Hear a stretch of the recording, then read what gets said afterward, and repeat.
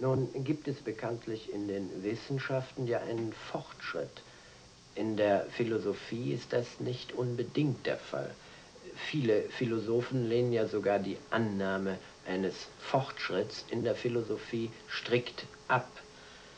Gibt es nun Ihrer Meinung nach, Herr Professor Carnap, auch in der Philosophie einen Fortschritt, der dem, was man in den Wissenschaften als Fortschritt bezeichnet, entspricht? Ja, ich glaube, wir können da mit Recht von einem Fortschritt sprechen.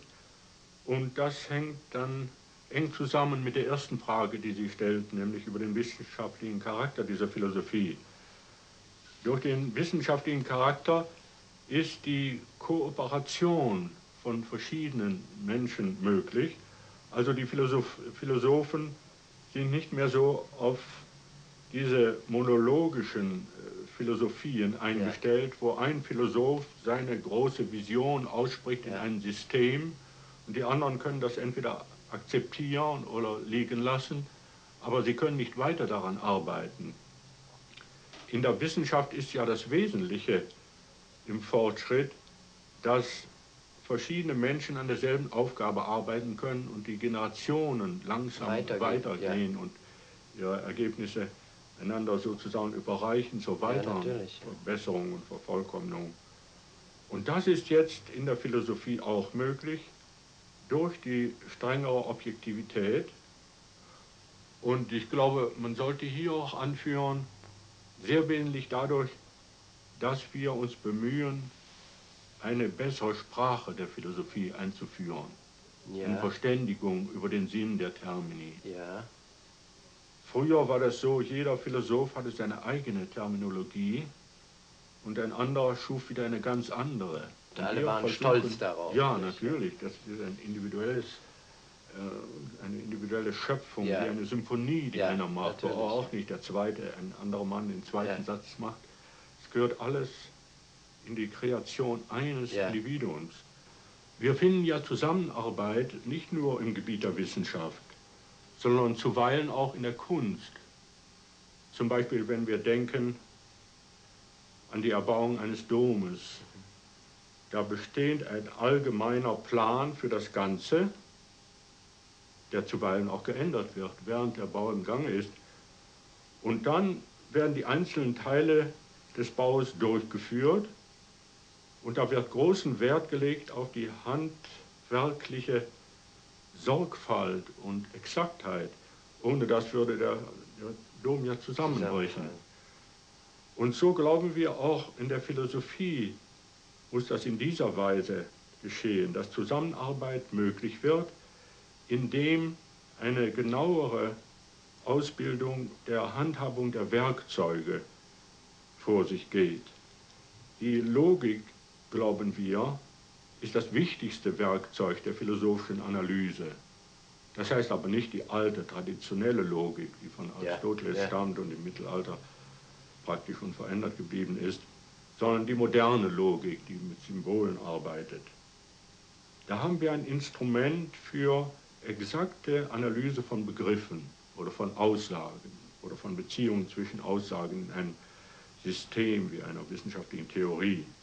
Gegen Ende des vorigen Jahrhunderts kam der deutsche Mathematiker Frege und dann zu Beginn unseres Jahrhunderts der englische Philosoph Bertrand Russell und die zeigten, dass die ganze Mathematik auf die Logik reduziert werden kann. Das heißt, dass alle Begriffe der Mathematik definiert werden können aufgrund von logischen Begriffen ja. und alle Theoreme der Mathematik zurückgeführt werden können auf die Grundsätze der Logik. Ja.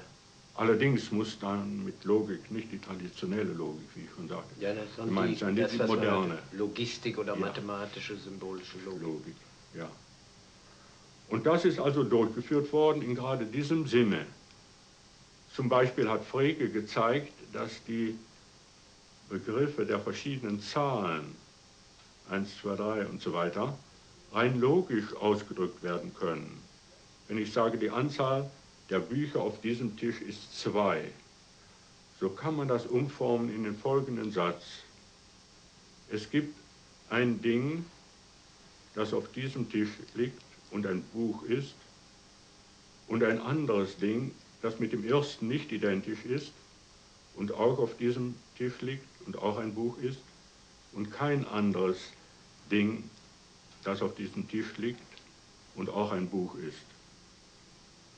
Das bedeutet dasselbe wie die Anzahl der Bücher auf diesem Tisch ist zwei. Mhm. Also das arithmetische Wort zwei, ist hier definiert ja. mit Hilfe solcher logischen Wörter wie alle sind und ja. es gibt und Richtig. identisch.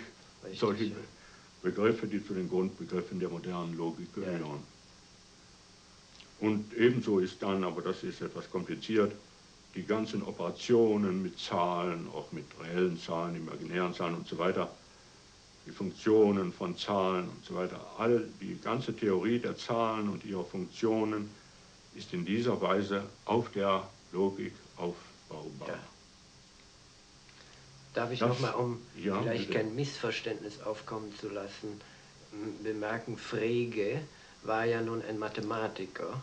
Äh, wenn man also sagt, die Philosophen haben es sozusagen fertiggebracht, die Mathematik auf die Logik zurückzuführen, äh, könnte der Irrtum entstehen, ja Frege, der das mitbesorgt hat, war ja Mathematiker.